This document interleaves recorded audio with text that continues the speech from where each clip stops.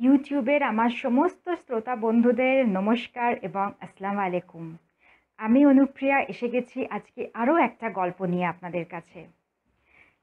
তবে গল্পটা সম্পর্কে কিছু বলবার আগে আমি আপনাদের বলে দিতে চাই আবার যে আমাদের এই চ্যানেলে আমরা শুধু গল্প পড়েই শোনাই না, আপনারাও কিন্তু গল্প লিখে আমাদের কাছে পাঠাতে পারবেন এবং আপনাদের নাম সহ সেই গল্প পাঠ করা হবে।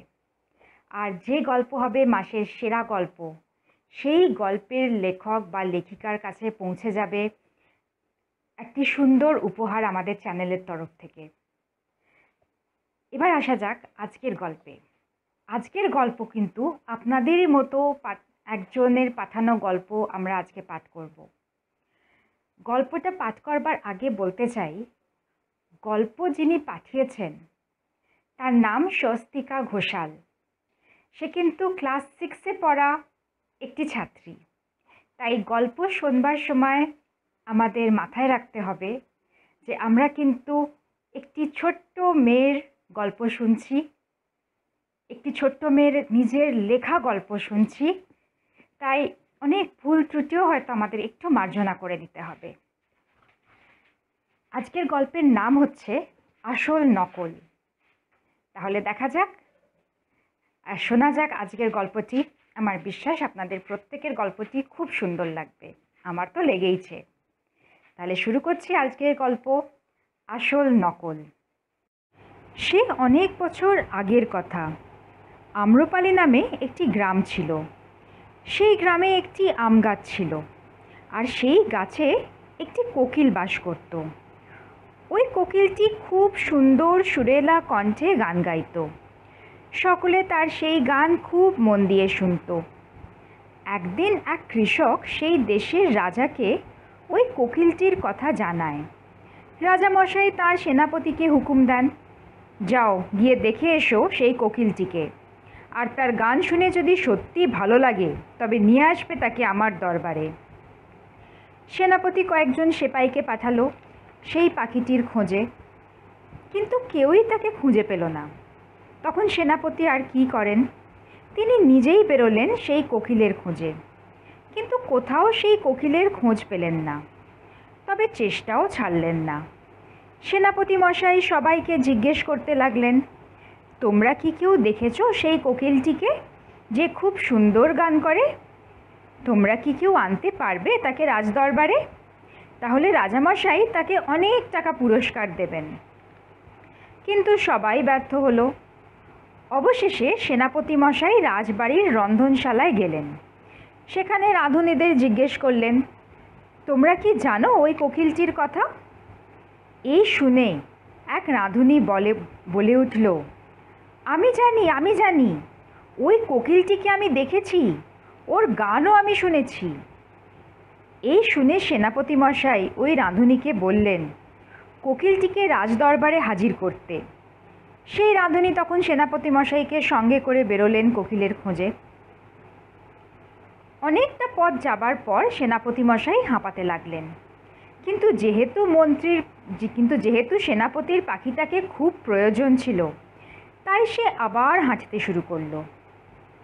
কিছুটা পথ চলার পর একটা হাম্বা হাম্বা ডাক শুনে সেনাপতি মশাই দাঁড়িয়ে গেলেন। আর রাঁধুনিকে জিজ্ঞেস করলেন, এটাই কি সেই কোকিল? রাঁধুনি হাসতে হাসতে উত্তর দিল, না না, এ তো গরুর ডাক। আবার একটু যাবার পর কা কা করে শব্দ হলো। সেনাপতি মশাই বলে উঠলেন, এটাই কি তবে সেই কোকিলের ডাক? না না, এ তো শুধু একটা কাকের আওয়াজ, বলল রাঁধুনি। সেনাপতি নিরাশ হয়ে আবার হাঁটতে লাগলেন। একটু পরে তিনি শুনতে পেলেন একটি সুন্দর সুরেলা গান। রাঁধুনি বলল, সেনাপতি মশাই, এই সেই পাখি। সেনাপতি খুশি হয়ে দাঁড়ালেন সেই আম গাছটির সামনে। কোকিলকে জিজ্ঞেস করলেন, আমাদের দেশের রাজাকে কি তুমি তোমার সুন্দর গান শোনাবে? উনি তোমায় ওনার রাজদরবারে নিমন্ত্রণ জানিয়েছেন। তোমার গান শুনবেন বলে? কোকিল বলল হ্যাঁ আমি যাব। তবে এরমভাবে নয়। রাজামশাই যদি একটি সুন্দর গদিমোড়া পালকি আর তার সঙ্গে অনেক ফল পাঠান আমার জন্য, তবেই আমি যাব। সেনাপতি মশাই আর কি করেন? বললেন, ঠিক আছে, তবে তোমায় কথা দিতে হবে। আমি না ফেরা পর্যন্ত তুমি আমার জন্য এখানেই অপেক্ষা করবে এই বলে সেনাপতি রাজদরবারে ফিরে রাজামশাইকে সব বললেন। রাজামশাই কোকিলের কথা মতো তাদের যত্ন করে আদর যত্ন করে তাকে তার রাজদরবারে আনতে লোক পাঠালেন। রাজামশাইয়ের কোকিলের গান শুনে খুব ভালো লাগল। তিনি কোকিলকে একটি সোনার খাঁচায় রাখলেন। কোকিল সবসময় রাজাকে গান গেয়ে শোনাতো। একদিন এক পড়োশি দেশের রাজার তরফ থেকে একটি উপহার আসে। একটি খুব সুন্দর দেখতে যান্ত্রিক পাখি। রাজামশাই তো এই উপহার পেয়ে খুব খুশি হলেন। আর সেই কোকিলটির কথা ভুলেই গেলেন।